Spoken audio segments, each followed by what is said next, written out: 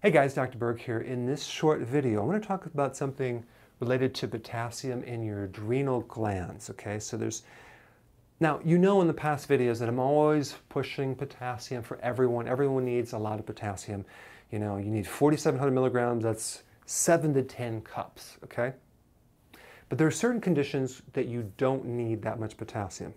It's a rare condition, but I want to bring it up just in case you might have this problem, okay?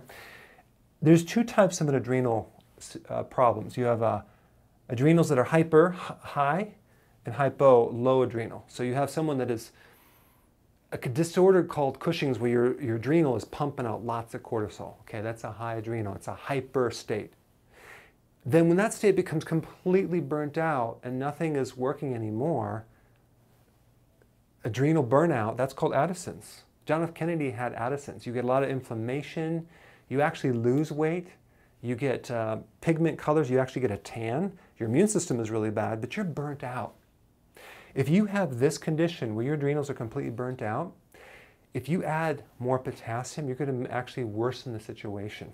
What you need to do is increase your salt, okay? These people are usually craving a lot of salt. So if you're craving salt, you go ahead and consume lots of it. And if you have a, adrenal burnout, you, you might not feel good on a lot of potassium. So lower the amount of potassium, increase the salt, and see how you feel. Okay, that might be uh, a correction because if you have this and you add all this potassium, you're just not going to feel right. Okay, so some of you watching this are already like, wow, maybe that's why I don't feel right when I have that much vegetable. That could be why. Okay, but for the great majority of people, they need to increase way more, four times as much potassium food than salt. So they need just a moderate amount of salt and a lot of, a lot of potassium. Okay, this is a rare uh, condition, uh, but it can happen, and you can always go to a doctor and get it tested.